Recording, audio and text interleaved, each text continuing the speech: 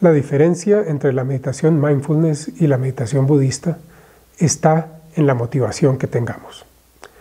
En la meditación mindfulness, la motivación está más centrada en, uno mismo, en cómo lograr calmar la mente, estabilizarla y tener un poco más de control sobre las emociones.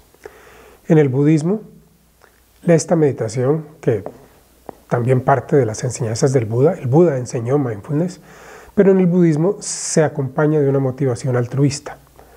El objetivo de la meditación budista es deshacernos nosotros de nuestras emociones perturbadoras y de nuestras ideas rígidas para ser de mayor beneficio a los demás. Porque reconocemos que mientras nosotros estemos confusos, sufriendo, perturbados, no seremos de gran ayuda para los demás. En cambio, cuando nosotros tengamos una mente clara, abierta, que nos permita ver las cosas tal como son, podremos ser de gran beneficio para incontables seres.